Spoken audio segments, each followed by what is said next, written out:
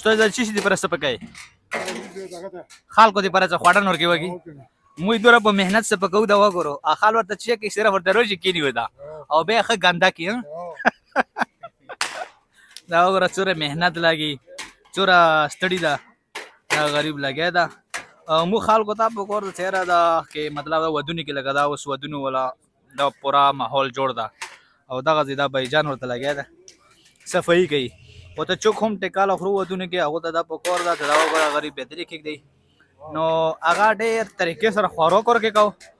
او ډېر صفائی سره به دا ستو ویلې کنه دا کاسو نور په بیس لړی کېږي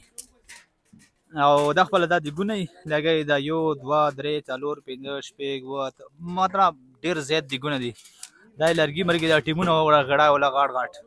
هغه مخ مخ ټیم وګړه او دا وګړه سپای کیږي دا مشرون لګي مشوره کوي چې دا واده ټکاله خیر خیرات سره تیر شي دا سپای لګي